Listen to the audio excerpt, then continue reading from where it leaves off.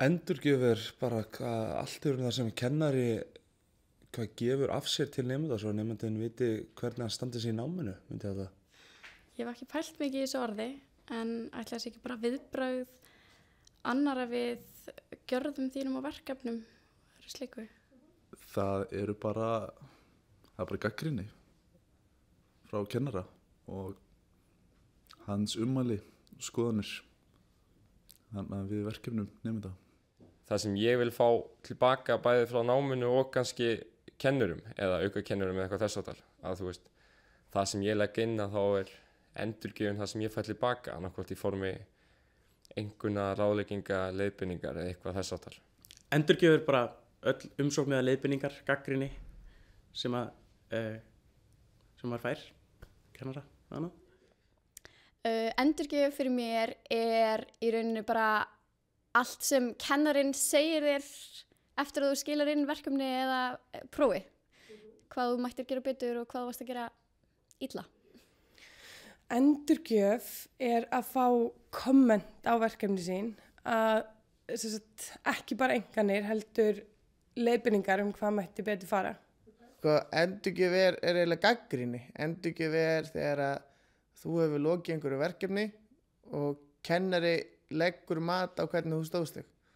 Endurgjöf er mat á verkefni eða prófi. Fyrir mér er það raun og veru gæti verið bæði engun eða svona uh, texti sem að myndi segja þig hvernig þú stóðst þig.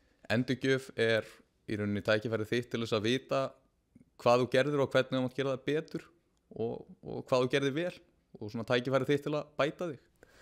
Endurgjöf er eitthvað sem að hjálpa nefndum ekki einungis að meta stöðu sína, heldur vonandi til þess að bæta hana.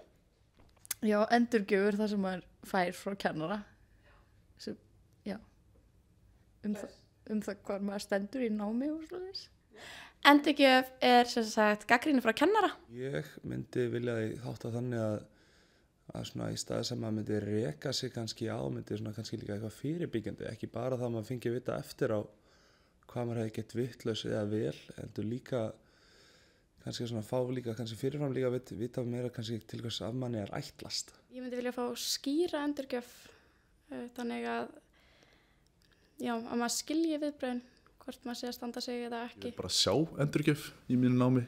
Það eru nokkur kennara sem hafa verið afskaplega lélegir í að skila aftur þessari endurgjöf eða feedback og það má endilega fara bara að bæta þessu.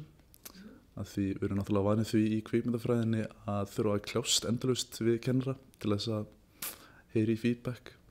Þannig að það má endilega fara að bæta því. Ég myndi vilja sjá þessu endurgjöf átt að uh, meira með umsögn frekaraldinu engunum um, bara með uppbyggilegri gaggrinni og hérna og já, bara meiri endurgjöf um hvað betur mætti fara. Sko hún er náttúrulega mismunandi bara á milli kennara, eh, þú veist, og eftir áfengum. En ég myndi vilja sjá alla kennara gera það með þeim hættum að fái, sérst, fái verkefni sín tilbaka með leiðbyrningum um hvað mætti betur fara. Þú veist, við erum að tala um einhver hundra orð kannski, bara segja manni, þú veist, hvað er gott og hvað er ekki gott.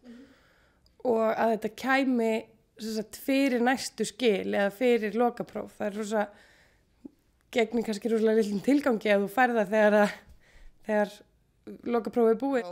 Ég myndi vilja hætta að vera með jafn mikið af uh, bara tölum frá 0 upp í 10 og ekkert sem fylgir því og ég myndi vilja fá raunverulegan svo gaggrinni því að það er lítið, lítið gagni því að fá kannski bara 7 þannig ég, sko hvað stendur bak við það af hverju fekk ég 7 en ekki 10 eða 7 en ekki 0 Uh, ég myndi helst vilja sjá það svona persónulega og skrifið sér fyrir hvern og einn, ekki bara eitthvað svona staðala form eins og tölur eða að sé bara útskýring á tölunum, hvað standi á baku tölunum, heldur að sé bara persónulega gert fyrir hvern og einn. Ég hef nú ekki mikla reynslu öðru en að, að fá bara prófsynningu, 100% prófsynningu eftir, eftir lokaprófin og að vita hvað ég gerði illa og hvað ég gerði vel og, og þá svona get ég sé hvað ég hefði mátt fara betur, prófin er oft eins uppbyggð þannig ég get lært að læra betur og verða betri námsmaður.